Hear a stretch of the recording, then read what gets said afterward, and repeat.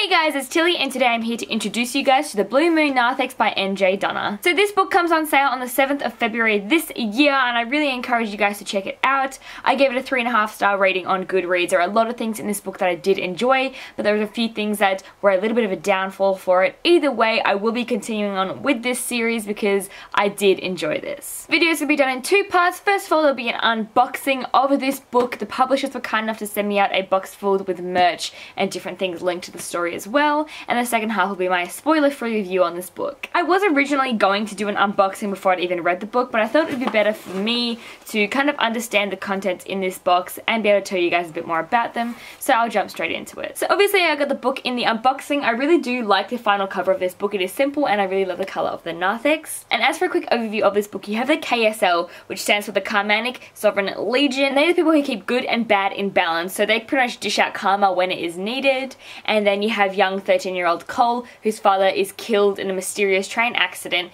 and he gets thrown into this world. So he has the Blue Moon Narthex and a Narthex is a really powerful stone that KSL members can use and obviously it can't just be an easy journey for him. There are outside forces who are trying to get the same stone that he has and it's just going to be a real ride from beginning to end. So you also got the doctrine of the KSL. This has the official documentation for when the KSL was formed plus definitions of what they actually are and what they stand for. It's like super cool the effort that they went through to write this.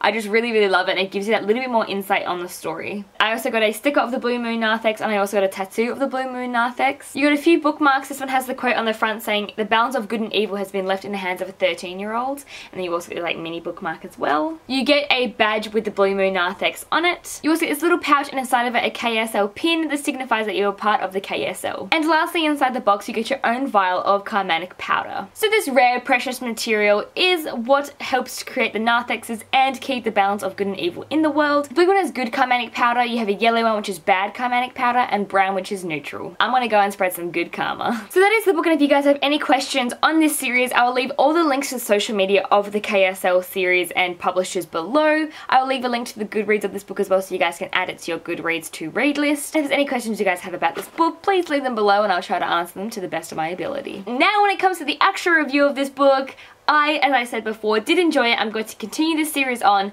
but there are a few things that I disliked. This book is most definitely a middle grade book. If I had to compare it to anything, I would say it's a bit like Percy Jackson slash Harry Potter slash Akane. It was really fun and magical to step into this world. I think that I was in need of a rather easy book to read where you kind of know things aren't going to go terribly like they do in a lot of other fantasy YA books. So it was really nice to just have a break from some serious reading and enjoy this book. So in this book you have three best friends, Cole who is the main protagonist and you've also got his friends Sophie and Britton. They're all 13 year old and they all get swept into this world and it's really fun because they have a really great dynamic and from the very beginning you can see their friendship and it solidifies throughout the entire book. There's always something happening in this book. It is quite action packed. You've got the main plot and then you've got a few that string off from it as well. So there's always different things you're watching and keeping an eye out for and enjoying and I liked that because it didn't make the book slow at all and it was rather enjoyable to have something to keep you occupied the entire time. There was not really any chapters that were just filler chapters, there was always something happening. From the moment that I started reading this book, all I could picture it was as a TV show. It's got that perfect style that would be good on television, the characters that people can relate to, a storyline that is always busy, and it's one of those books where this world could be real. It's got that underlying magical world that happens on Earth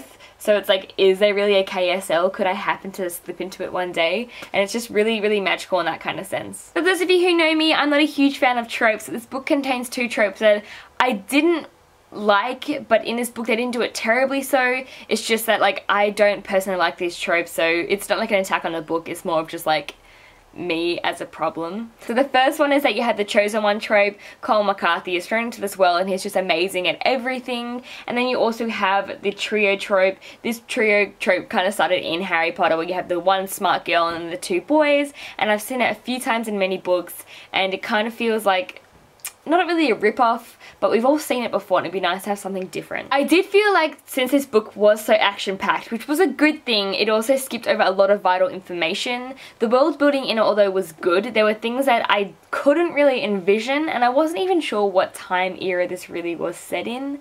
A lot of things seemed kind of modern but at the same time as World War One and like this typewriters being used but it was just, it was a little confusing but it could just have been me. The only other problem I have with this book is that there were so many names that you feel like you should remember. You're introduced to a lot of characters and just strangers passing by in this book are given names and every time they're introduced it feels like they're going to be someone important so you try to remember them and when they do inevitably come back into the story it takes a long time to figure out which person that was supposed to be and it can be quite confusing sometimes. I can say though it is very easy to remember who the main characters are so I guess that's the only important thing really. So this book had a lot of potential although I did thoroughly enjoy it and will continue to read this series. I do hope that the next book steps up as a whole and just becomes that much more greater. You guys can definitely say that I am a member of the KSL and I'm very happy to have read this book. Like I said, I will leave all the links to this book below. I encourage you guys to check it out and it sounds like something you guys will enjoy, then read it and rave about it with me. And until then, I think that is everything. So you guys have a lovely bookish day and hopefully I'll see you guys again soon.